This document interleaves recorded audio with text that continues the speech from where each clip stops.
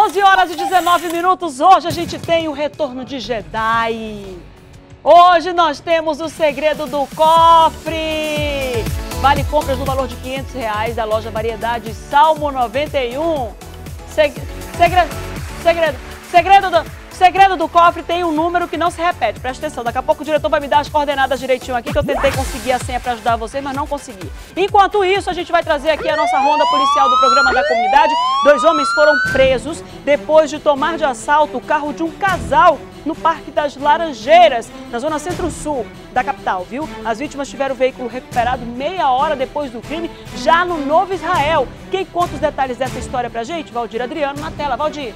Márcia, dois homens foram presos suspeitos de tomar de assalto o carro de um casal lá no bairro Parque das Laranjeiras, na zona centro-sul de Manaus. No momento em que o veículo passava pela área da 18ª SICOM, os policiais militares daqui da área conseguiram recuperar esse veículo. Como é que foi essa ação? Então, nós recebemos uma denúncia via nossa linha direta que um Voyage cor branca havia tomado de assalto no Parque das Laranjeiras e teria tomado rumo é, ao bairro Parque das Nações. É, já deslocamos as viaturas para tentar interceptar. E graças a Deus tudo ocorreu da melhor forma possível. Conseguimos interceptá-los aqui na Avenida Cristã, no bairro Novo Israel. Dois indivíduos. É. Um estava portando um, um revólver calibre 32 com cinco munições intactas. É. Posteriormente encaminhamos os mesmos para o 12º DIP, onde foi feitos os procedimentos cabíveis. No caso foi o flagrante. Os dois responderam pelo roubo majorado e também pelo porte legal de arma de fogo. Né? Positivo, pelo roubo majorado e pelo porte legal de arma de fogo. Toda essa ação durou menos de uma hora. Eles roubaram por volta ali das 22 horas e cerca de uma hora depois vocês conseguiram recuperar. E, na verdade, bem antes. Acho que durou no máximo aí 30 minutos. E aí como é que foi a reação do, desse casal ao saber que o pertence foi devolvido? É uma satisfação, um agradecimento à Polícia Militar pelo trabalho. E isso nos deixa muito satisfeitos pelo nosso trabalho desempenhado. Missão cumprida. Missão cumprida. Pois é, tá aí é, é, com esse caso resolvido aí por parte dos policiais militares da 18ª Companhia Interativa Comunitária que eu volto com você ao estúdio. Obrigada, Valdir Adriano, que chega a dar um sorriso quando vê aí o caso desvendado também junto com a Polícia Militar, né, Valdir?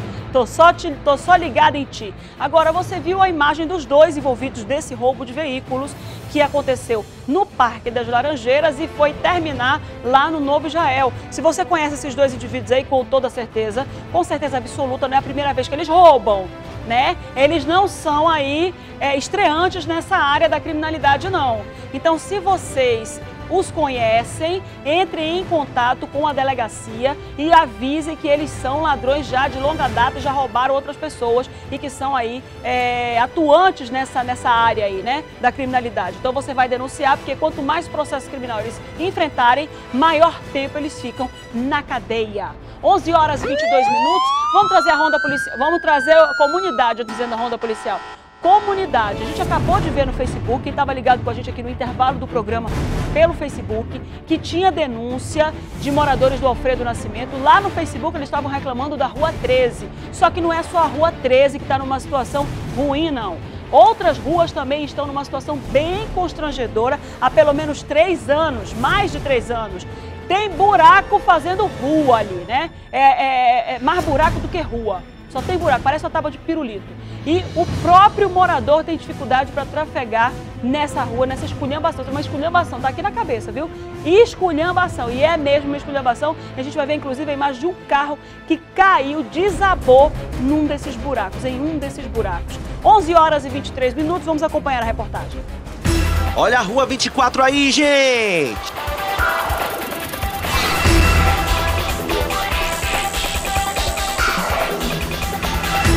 Eita, deu pra ver que a situação aqui não tá fácil. O restante da rua até que tá estruturada, mas é cada buraco. Paulo Sérgio mora aqui há mais de 20 anos. Os buracos em frente à casa dele causam muita irritação. Pai, é complicado aqui, ó, principalmente quando chove. O pessoal da prefeitura passaram ajeitando aqui, só eu ajeitar se fosse o, o ônibus passasse aqui, mas o, o, ônibus dobra aqui, aí chegaram aqui, cavaram, fizeram esse buraco aqui, ó, e voltavam para tampar, não tamparam. A, a, minha água, meu, minha mangueira da água da Amazônia, da água ambiental, tá tudo aberta aqui, arriscado, a caçamba levado lixo. porque tá tudo quebrado aqui, vocês estão vendo aqui, ó. Segundo eles, as crateras são um risco para os motoristas e pedestres. Esse carro demorou para subir. A caçamba quase não desce. Para dirigir aqui é preciso ser artista. Todo santo dia aí tem que ser artista, porque senão tu nem sobe aqui. Isso tá assim há mais de 3, 4 anos, assim, os governantes nunca resolveram vir aí e dar um jeito aqui nessa rua. E olha, os moradores há mais de três anos passam por esse problema aqui na rua 27.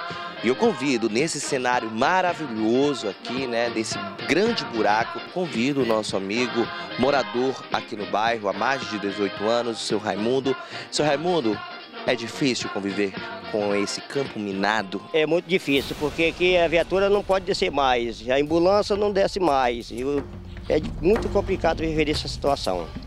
Aí vem tempo de política, promete, vem filme, filme e vários que a gente rejeitar e não, nunca vieram. A situação é essa que você está vendo aqui, a realidade. A rua toda esburacada, cheia de lixo. O caminhão de lixo de agora aqui no seu rio lá. Quase vira em riba da casa do senhor ali. Só por essa banda aqui. É complicado, a gente faz um apelo pro, pro proprietário, o governante, o prefeito, sei quem é, eles olhar por nós, né?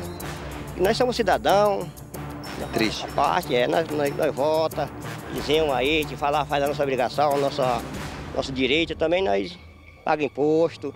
Também a gente quer um, uma melhoria para nós, né? Tem, tem criança. Olha, a gente está vendo aqui, né, nas imagens de Rui Mendes, que a rua, ela está... Ela tem até uma estrutura, né? Mas chegou nessa parte aqui, mais acima, ela é desse jeito com uma grande cratera aqui se formando, né? Daqui a pouco a rua toda pode ser tomada por esse buraco. O que eles querem aqui é solução. Por aqui moram cerca de 50 famílias que aguardam um posicionamento das autoridades.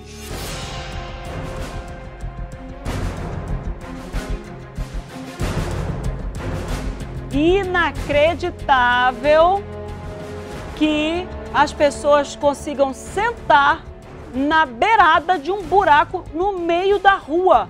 O Bruno trouxe pra gente o número da rua, disse número 24 ou número Air, ou Rua Air algumas ruas ali do Alfredo da Cimento tem números e tem nomes, né? A gente viu a reclamação aqui da nossa, da nossa é, telespectadora pelo Facebook, falando da Rua 13. O Bruno começa falando da Rua 24, que também é conhecida como Rua Air.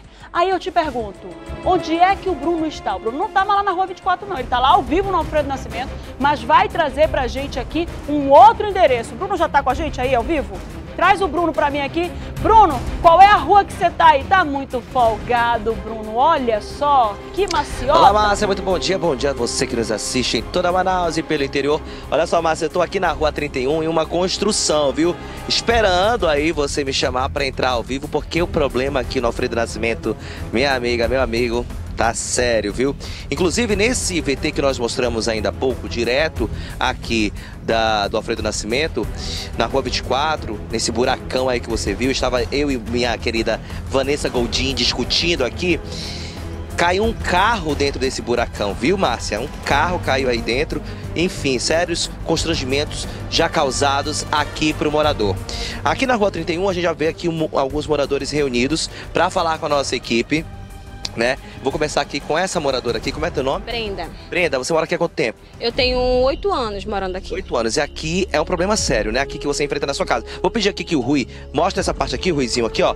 Você enfrenta um problema sério aqui, né? Muito, muito problema. Qual é? É assim, porque lá atrás, lá na frente da minha casa, você pode ver que é duas casas. A da frente é da minha sogra de madeira e a minha que já é de alvenaria. Em frente tem um rego. E esse rego, quando chove, alaga tudo. Na minha casa não alaga, mas da minha sogra alaga demais. Aí, ou seja, dá problema. Dá muito problema. Quando chove, ninguém tem paz. Não, ninguém tem paz. O meu, meu esposo muitas das vezes já saiu de madrugada para desentupir lá, porque o lixo vem de lá de cima, da outra rua, lá de cima, entendeu? E entope tudo. A minha sogra já caiu, muitas das vezes. O meu filho mesmo já caiu, porque o meu esposo fez uma ponte. Justamente ele fez uma ponte, né, pra gente ficar, poder passar Porque senão, mas já há muito tempo que a gente está nessa luta. A vizinha já, já fez um baixo assinado, mas até agora ninguém veio aqui, né? Nós, e é muito complicado. Aí, essa é a primeira reivindicação. Nós vamos mostrar outras ruas aqui do Alfredo Nascimento. Peço obrigado pela sua participação. A gente está vendo aqui que o problema realmente é sério. Vem comigo, Rui, porque nós vamos andando aqui na rua 31, Márcia. A gente vê, né, que a, a rua 31 ela dá acesso aqui ao começo já à rua 24, onde nós mostramos ao, ali o, a nossa matéria aqui no programa da comunidade. Mas antes, Ruizinho, da gente chegar na nossa outra rua, a gente vem para essa daqui, ó, que é a 30. Cadê o meu amigo que combinou comigo para falar aqui? Essa é a 30? Não, essa não é a 30, a 30 é ali na frente. É aqui onde também cai muita água, né? Aqui cai muita água também. A moradora aqui tá reivindicando. Eu vou aqui pra rua 30, onde o morador já tá esperando a gente.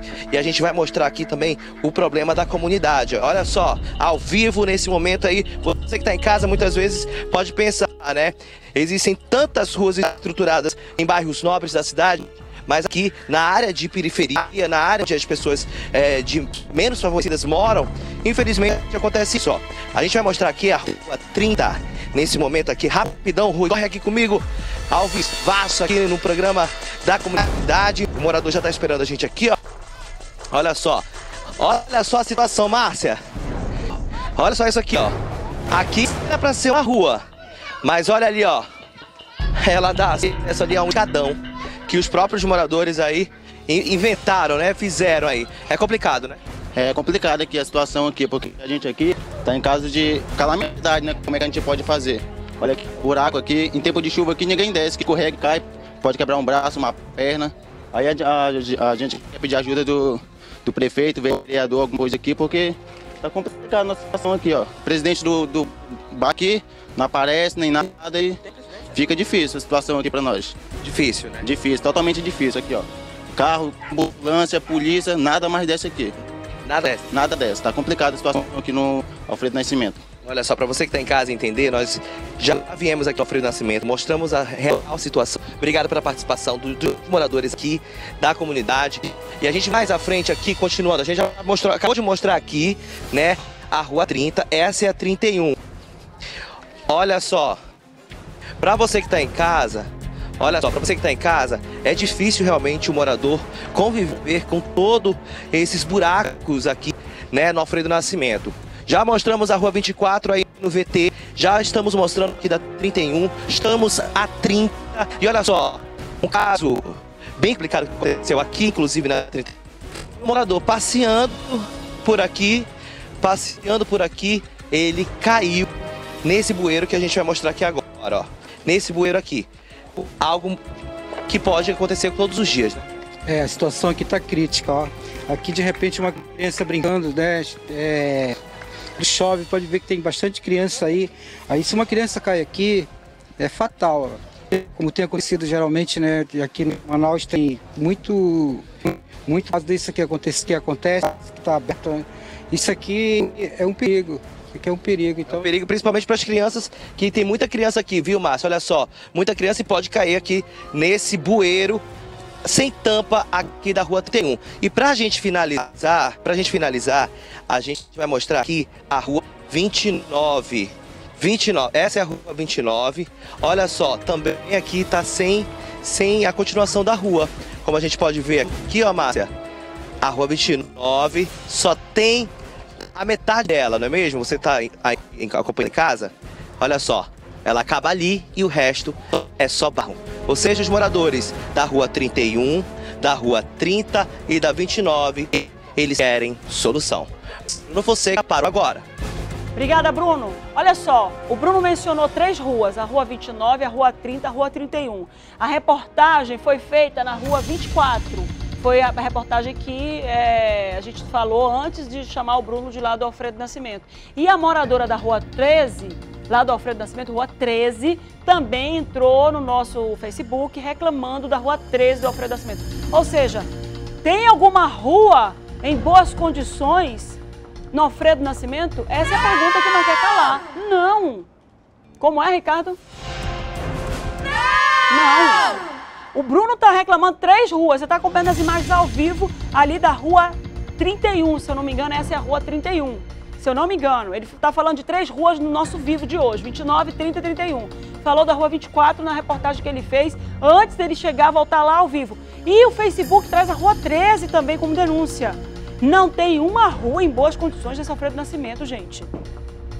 É preciso fazer um mutirão de obras no Alfredo Nascimento. É preciso que o Distrito de Obras do Alfredo Nascimento faça um mutirão, literalmente. E outra, como eu fico aqui preocupada quando eu vejo bueiros destampados. Porque essa tampa de madeira que os próprios moradores improvisaram não serve para nada. Porque vem uma chuva forte, vai levar essa tampa de madeira que tem ali.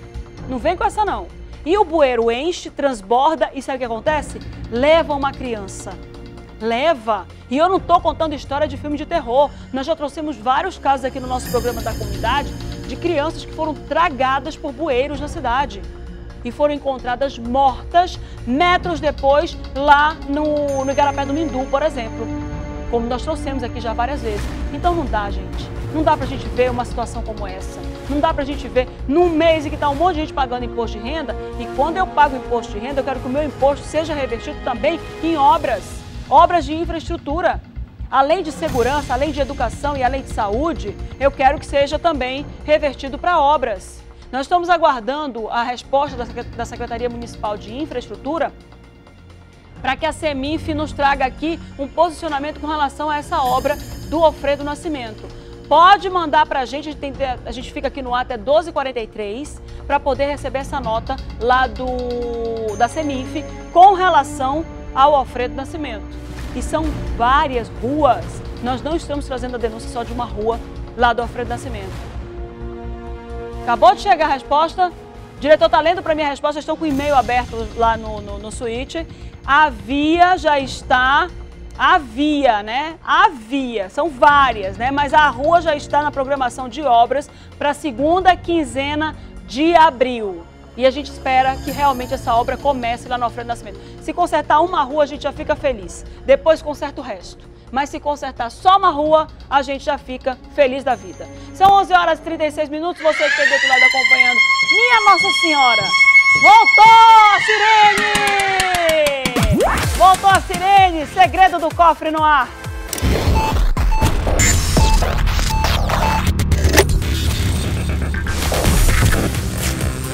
Senha no meu ouvido, tendo essa caridade. Diretor vira para mim e repete, 500 reais, 500. Eu falei, ele vai dizer a senha. Né? O quê? Não. Repita! Não disse a senha. São 500 reais em compras lá na loja Variedades Salmo 91, em qualquer uma das lojas, tá? Se eu não me engano, são oito lojas espalhadas aí pela cidade. Pode comprar em qualquer uma das oito lojas. Vamos lá, eu quero receber sua ligação, 3307-3950. Pode ligar agora. Eu vou logo te dar uma dica. A primeira dica que a gente tem é que os números não se repetem. Pronto, os números não se repetem. Você pode ligar para cá e dar os números que o diretor vai dizer se está certo ou se está errado. A gente está aqui esperando pela sua ligação. 3307-3950. Vou começar testando o número do, do, do Carlinhos. Posso, diretor? Enquanto ninguém liga? Ah, vamos botar o pessoal do, do, do, do Facebook para participar também, diretor? Bora botar? Não, não dá? Nem no intervalo? Nem no intervalo? Ah, não dá. Nem no intervalo, pessoal do Facebook. Vamos achar depois, viu? Você que está ligado conosco pelo Facebook, a gente vai achar um jeito de premiar você no intervalo para que você continue ligado com a gente também no intervalo pelo Facebook.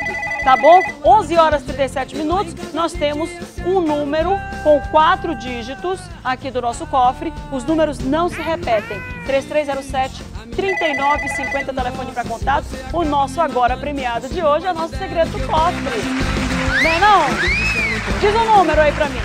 Diz um número aí. Vambora, diz aí um número. Carlinhos, diz para mim um número. Não, me diz quatro números. Ah.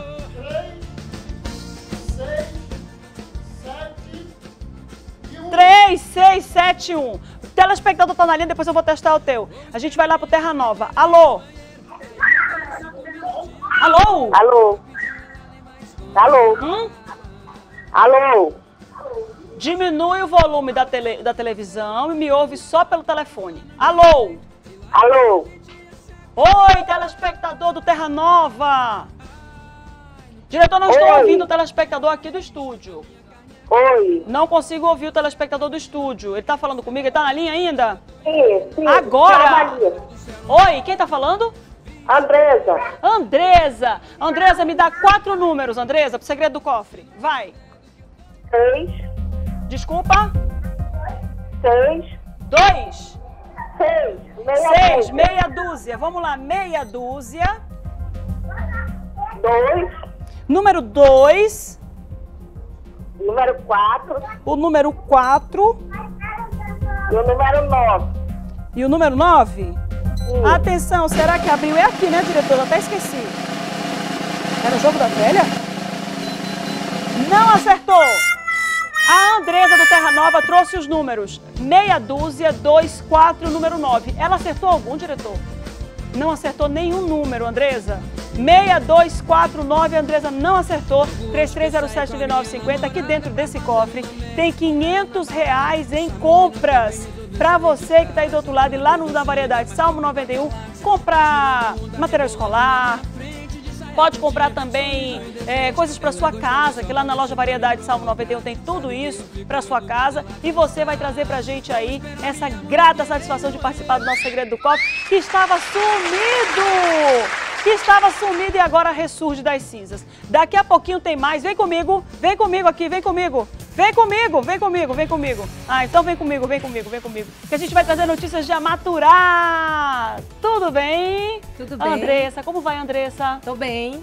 Tá trazendo notícias de Amaturá. Você é Sim. de, uma, de Amaturá, você mora lá ou você mora aqui? Não, eu moro em Manaus. Mora em Manaus. Sim. O que que tá acontecendo aí com, com, com a comunidade de Amaturá aqui em Manaus? Vai ter festa, é isso? Sim, nós temos uma festa agora. Primeiramente, eu gostaria de agradecer a TV em Tempo, né? Fica à vontade. Pela ser. oportunidade que está nos cedendo e convidar ao Alto Solimões inteiro, né? Que sábado, depois de amanhã, nós estaremos fazendo um- uma festa em homenagem ao Dia do Município e para reunir a população do Alto Solimões, que é Tabatinga, Benjamin, São Paulo de Olivença, Santo Antônio, Tonantins, Santo Antônio dos Sá! Jutaí. Fonte Boa e Manacapuru, que também vai participar desse evento. Todos esses municípios Sim. do Alto Solimões estarão comemorando, Comemorando. o aniversário da cidade de Amaturá. Isso, que será dia 7 no Fazendário Clube. Eu Próximo a, a, ali a Secretaria de, da Assembleia, né? Ah, a, a SEAD. Isso. Próxima SEAD, Secretaria de Administração do Estado do Amazonas, tá? Fica ali o Fazendário Clube. Que horas começa? Começa às 9 da manhã, que vai ter torneio de futebol. E também nós vamos ter feijoada, que custa 15 reais. E eu convido todos os amaturaenses a participar e todos os Alto Solimões, né?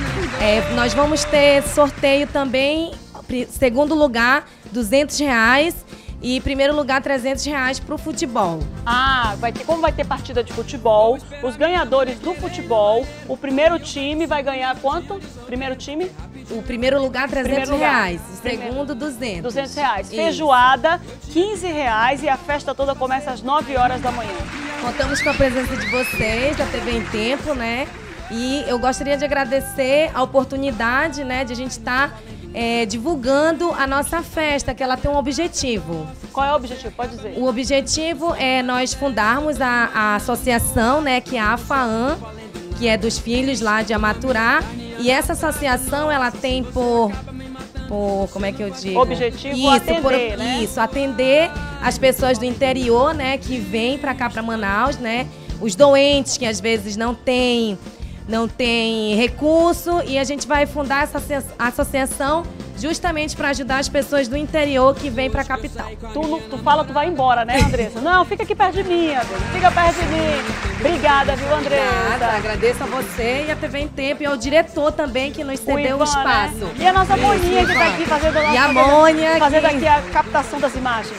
11 horas e 43 minutos, a gente vai para um rápido intervalo e volta já já, mas a gente continua ao vivo pelo Facebook, viu? Tchau, pessoal, até já, hein? Até já, a gente volta já já.